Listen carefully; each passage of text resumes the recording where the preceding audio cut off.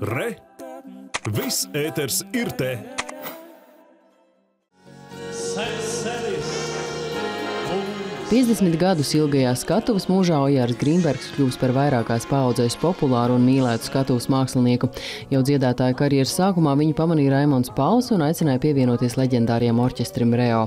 Tā izsākās viņa ilgadējā sadarbība. Solo dziesmās un neaizmirstamos duetos ar Margaritu Vilcānu Grīnbergs izpildīja 70. un 80. gadu populārākās dziesmas. sēstīgs sēs, ir tas stāsts, sēstīgs sēs, ir tas laiks, pirmais skats, pirmais smaids un glābs. Kopā ar Margaritu Vilcānu ierakstījis ap simt dziesmām, tikpat arī solo skaņdarbu.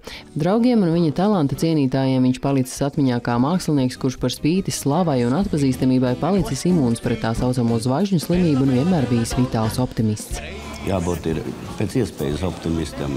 Es neņēmu daudz, kā saka, pierē. Es saku, nu, tagad ir slikti.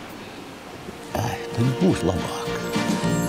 Reiz apklust katra balss, izskan katra šūpļa dziesma,